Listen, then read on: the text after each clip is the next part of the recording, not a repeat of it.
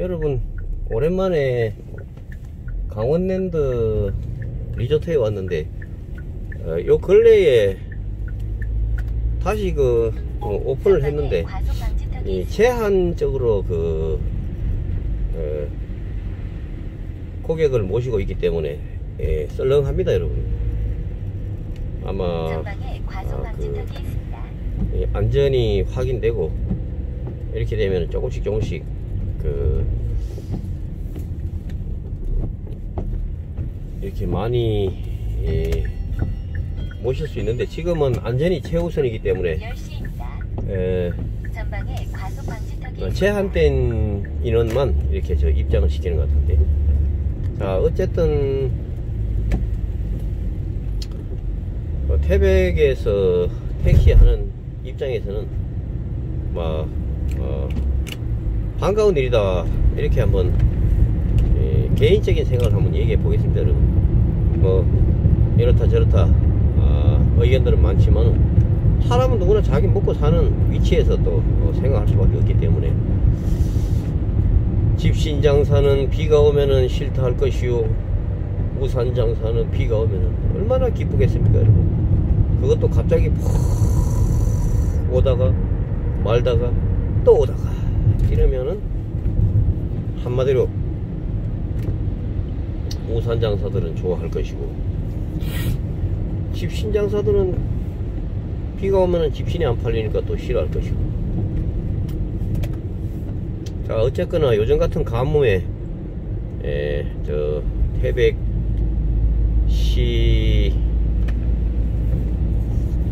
저쪽 문곡역 근처에서 이렇게 뭐 그 근처 어, 이런 데서 좀 멀리서 오면은 에, 4만원까지도 나옵니다 여러분. 카지노까지. 에, 그래가지고 아침에 어영부영 어영부영 어영부영은 아니고 열심히 예, 열심히 했던 결과로다가 아침에 7시 오늘은 조금 예, 컨디션이 좀 좋지 않아서 사고 나발 7시 50분 정도인가 돼서 출근을 한것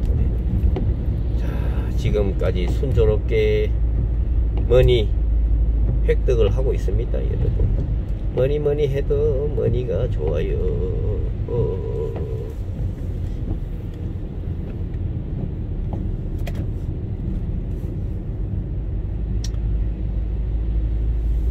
너는 느낄 수 있었네 우리 지금 사랑해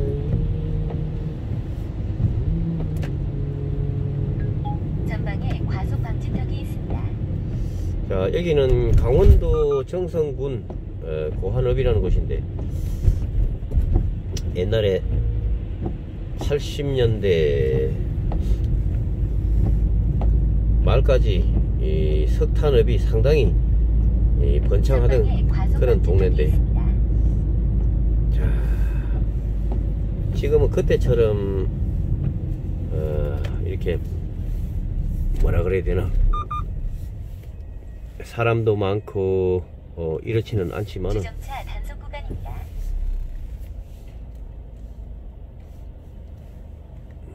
빨리 빨리 막아줘야지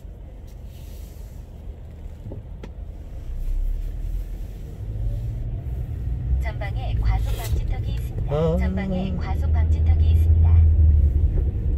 그래도 어쨌든 이쪽에는 건설 공사가 아, 많이 벌어지고 그렇네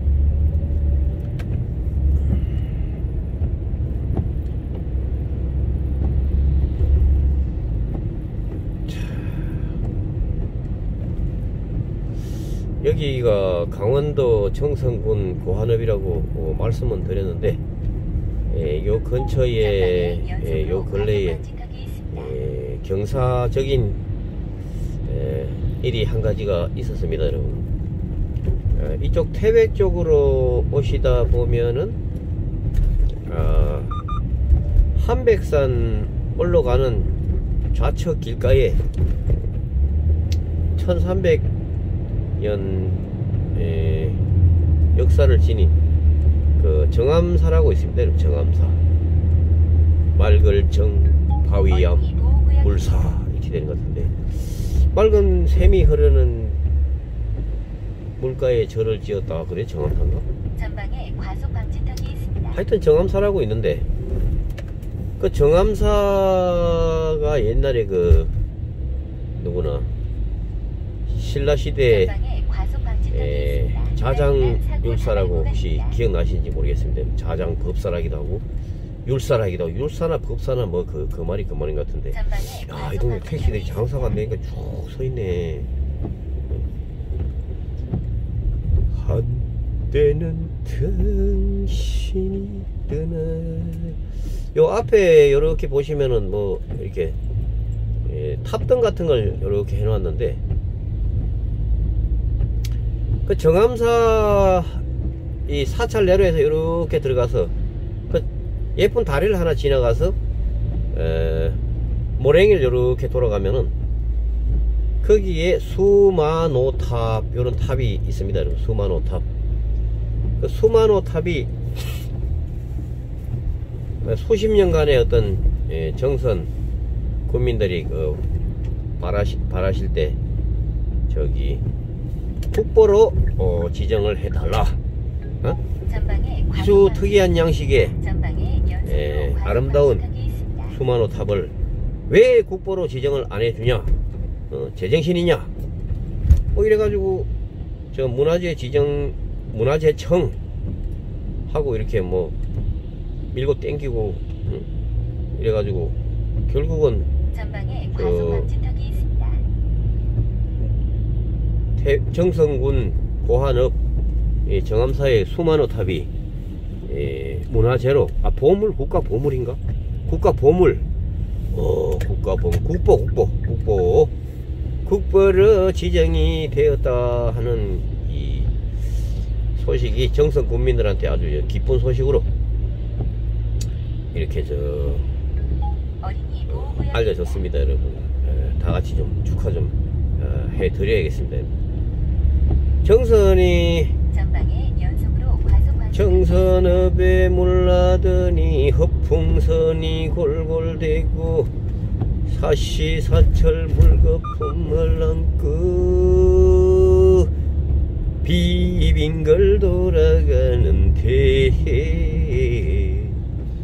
우리 집에 저 사람은 돌아갈 줄 모르네. 뭐, 뭐이, 뭐이가 돌아간다는 얘기야 도대체 뭐이가? 응? 그러니까 이 노래를 여러분 잘 들어보면 이런 얘기야. 에, 정선읍에 물나더니 허풍선이 골골대고 사시사철 물거품을 안고 정선의 물레방아 비빙걸 돌아가 우리 집에 멍청이는 나를 안고 왜안 노나? 뭐 이런 얘기입니다 여러분. 나를 좀 꼭 끌어안고 좀 응? 이렇게 예, 그런 얘기인데 옛날 노래가 재밌어요. 에, 강원도 정선은 어, 그렇게 돼가지고 국, 국보 무형문화재 유형문화재 뭐 어, 국가 보물로 이렇게 예, 지정이 됐는데 무형 무형문화재가 저기 정선 아리랑 정선 아리랑이 무형문화재인가? 하여튼 뭐 정선 아리랑 아리랑도 어, 그렇게 지정이 됐고 또 정선군 고한읍 한백산 기슭에 있는 정암사 아, 수만호 탑도 국보로 지정이 됐다. 이런 말씀을 드리면서 자, 한국 사람들은 이 또 좋은 일이 있으면은 이 박수를 치고 안 그럽니까 여러분? 그러니까 정성 국민들 예, 축하드립니다.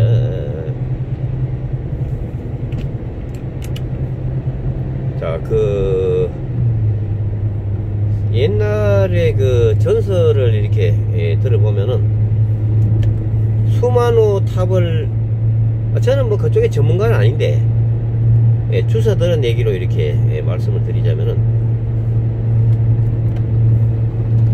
그 수만호 탑에 예, 그 쌓아 올린 돌이 우리 한국에서는 생산이 되지 않는 돌이라고 합니다, 여러분. 뭐 사실관계는 좀 더 자세히 알아봐야 되겠지만은 제가 그 안내 문구를 읽어봤는데 그렇다면은 도대체 천몇 몇백 년 전에 이 그런 재료를 그뭐 수입을 했단 얘기냐. 뭐 이런 얘기가 되는데. 여러분 우리가 또 이렇게 유념해야 될 예, 부분이 있는데. 1500년 전에도 무역이 있었어요.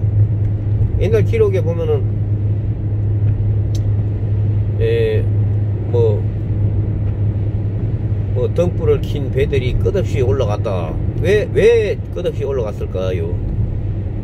그거는 저 밀물 썰물 할 때 그 일정한 상 일정한 조건에서만 내륙으로 이렇게 저 옛날 배들이 무슨 그 모터가 달린 것도 아니고 어 이, 조류와 바람과 아, 물때가 맞아야 아, 들어가는 거 아니겠습니까 여러분?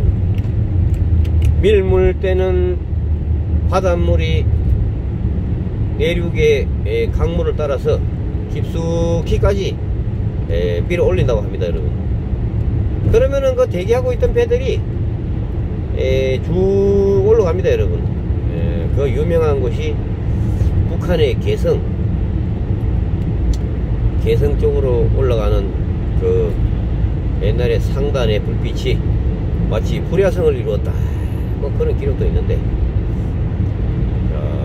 여기에서 우리가 될 것은 1500년 전 1700년 전에도 국제무역은 있었다. 에, 이렇게 에, 한번 생각하면서. 자, 오늘은 이 도깨비 영업이 이 아침부터 어, 순조롭게 이렇게 에, 지금 진행이 되고 있습니다 여러분. 흘러가는 전기 구름아 너가는 곳 틈에냐 갈곳 잃은 나그네 마음 몰라주니 야속하구나 울어봐도 웃어봐도 한 번 떠난 내 사랑은 짜가짜가 짠짠 언제 다시 돌아오려나? 약 500m 60km 석양길라 하그네야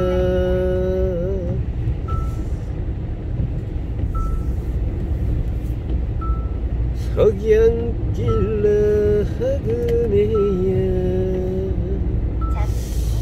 자 이렇게 노래도 해가면서 어, 태도 않는 소리를 또 중얼중얼 해가면서 이 길고 어, 힘든 에, 지역입니다. 택시 이, 이렇게 예, 하고 있습니다 여러분. 어제인가 며칠 전에 그 어, 댓글이 들어왔는데. 어느 지역인지는 모르겠는데 거기도 역시 1인 1차제인데. 에, 일주일 중에 6일을 일하고 하루를 쉰다 뭐 이런 댓글을 봤어요. 야그 도대체 어떻게 하냐는 얘기야 그런 데서는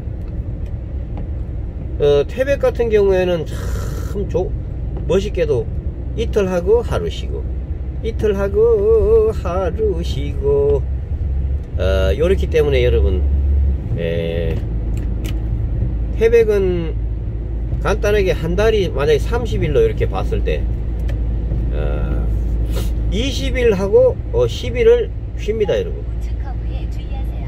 아 다른 데도 다른 동네도 그 태백처럼 비슷한 줄 알았는데 어떻게 택시가 저 6일 하고 하루 쉬고 이렇게 할 수가 있는데 이거 도대체 난 이해가 안 가는데 그게 진짜인지.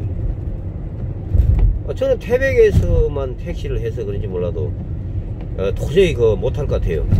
6일 하고 하루 쉰다면은 그거는 정말 그 우리 저 근로 기준법에도 이게 위배될 것 같은데 그분께서 착각하셨는지 제가 잘 모르는 게 있는지 모르겠지만은 막 그렇게 댓글을 제가 읽었습니다 여러분.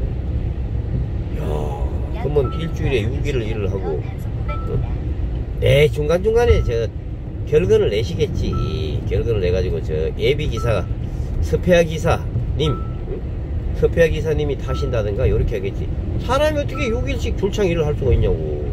잠시 후 60km 단속. 만약에 그렇다면은 그 거기서 택시 그만두시고 어 태백으로 오셔가지고 아, 좀 힘들지만은 이틀 탁 하고 나면은 또 하루 편안하게도 쉴 수 있고 가끔 가다 4만원 5만원 손님 태우고 갔다 오고. 자 쓸데없는 소리 자꾸 해서 죄송합니다 여러분 여기서 뵙겠습니다 오늘도 건강하시고 우리 시청자님들이 하시는 일들이 이잘 풀리시고 있습니다. 좋은 일 많으시기를 바랍니다, 여러분. 가스를 넣고 일을 해야 됩니다, 여러분. 가스가 많이 들어갈 것 같은데. 바람 차간 십자루 위